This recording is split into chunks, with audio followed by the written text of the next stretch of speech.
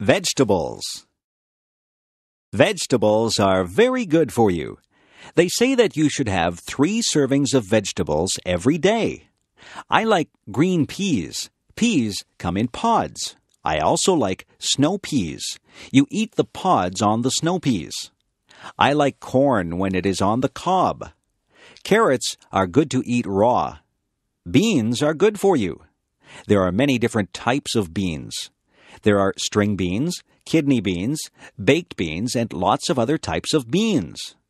Some people don't like green vegetables like broccoli and Brussels sprouts. I like broccoli and Brussels sprouts. You can make a salad and put lots of different vegetables into the salad. In my salads, I like lettuce, tomatoes, celery, cucumber, radishes, cauliflower, and spring onions. I try to have a salad with dressing on it every day. My dad likes root vegetables like beets and parsnips.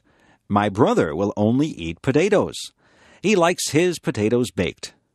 My mother likes to buy her vegetables at the market. She says they are fresher there. My mother buys a lot of onions. She puts onions in almost all the meals that she cooks. Some children won't eat their vegetables. I didn't like some vegetables at first, but I have become used to them. I like having vegetables with my meals.